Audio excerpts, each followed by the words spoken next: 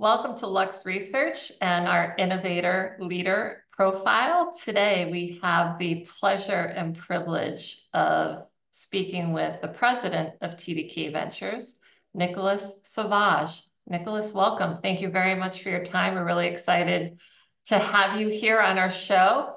Thank you, Marisa, for having me today. Let's talk a little bit about what you do in, in your role and what your team does.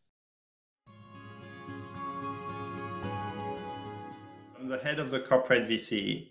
And our mission is a mission of exploration. So we're looking at new market and new technology, new use case, new business cases. So we're not looking at the current business, current market.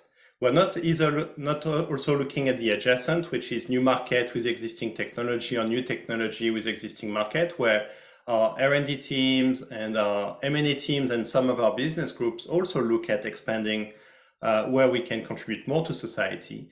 But we're really looking at this uh, fourth quadrant, the one where it's new market, new technology.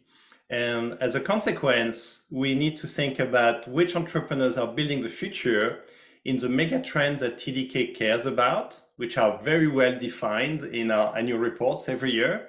Mm-hmm. And that becomes our investment scope.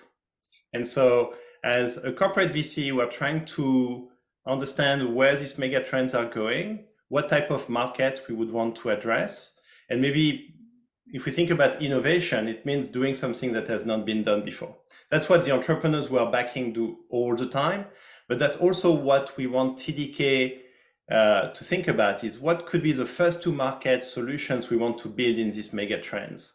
And working with these entrepreneurs who are building the future uh, really helps us to actually have a sense of where to go and where not to go, which is a definition of strategy.